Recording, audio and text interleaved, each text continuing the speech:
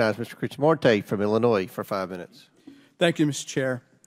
On December 10th, 2019, this committee held a hearing to examine and investigate widespread complaints from patients, physicians, scientists, and others that talc found in many consumer products, including in Johnson & Johnson talc-based baby powder, contained carcinogens such as asbestos and other uh, materials.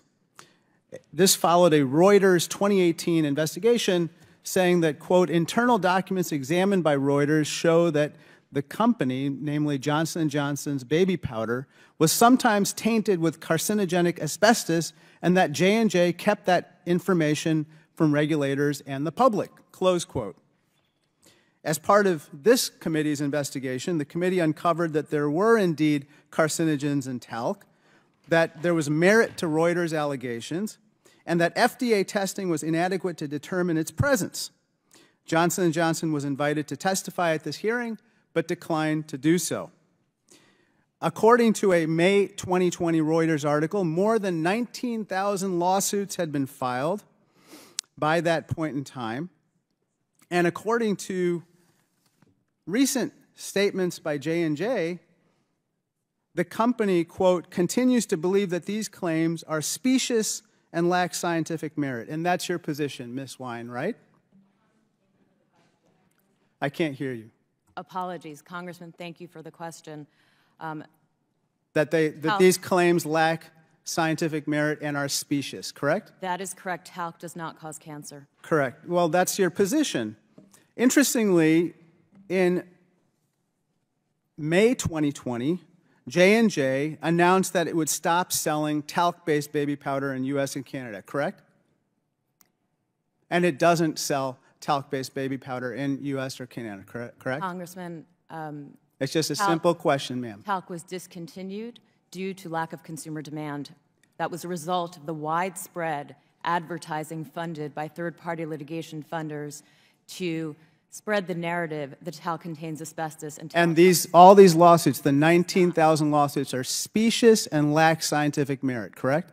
Congressman, talc does not contain asbestos and does not cause talc. And, and that's your position. I understand. That and that's why you stopped selling baby powder.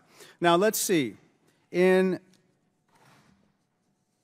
a recent interesting release, can you please put up the announcement that was publicized in the New York Times.